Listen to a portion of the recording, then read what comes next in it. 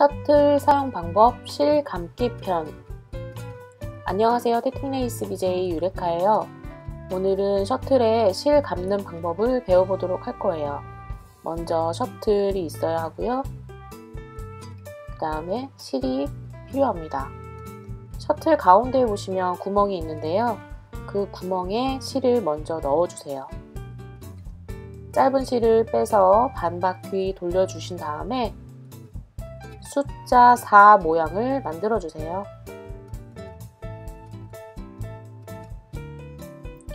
이렇게 만들어진 숫자 4 모양으로 다시 긴 실을 위에 올려 넣어 줍니다.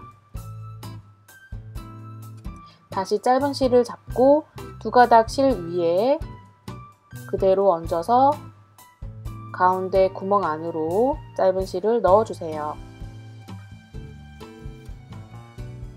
다시 매듭을 줄여주고 이 생긴 매듭을 긴 실을 당겨서 셔틀 안으로 집어넣어 줍니다.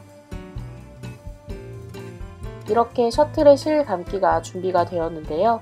이번에는 샤크라는 부분 또는 셔틀 팁이라는 부분을 기준으로 실을 감아 볼 거예요. 샤크라는 뾰족한 부분을 왼쪽에 두고 실을 앞방향으로 감아줍니다.